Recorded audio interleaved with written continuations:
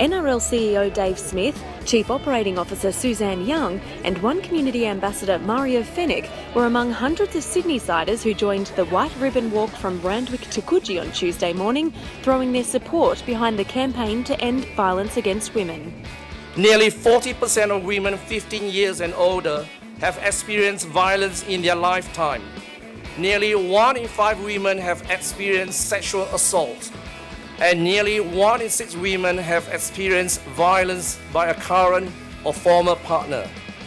It's time for us to stand up and say we will not tolerate or condone violence against women in any form. Today, White Ribbon Day, is an opportunity for all men to step forward and actively show our commitment to promoting positive attitudes and positive behaviours towards women. Look, this is a very big day for the community. I was involved in the very first one here four years ago. That year we all fitted into the Coogee Surf Club and did all this in there. This crowd is 10 times that size. That's how much it's grown in four years. So I think the community is very aware about violence wholesale, but domestic violence is a very, very huge subject. And never to excuse violence against women. A day like today actually really raises the awareness. And when you stand up there, and I stood up the front there with my arm around my son and took that oath, uh, I was very proud to do that. It makes me feel very proud of my son, that who's only 20 years of age.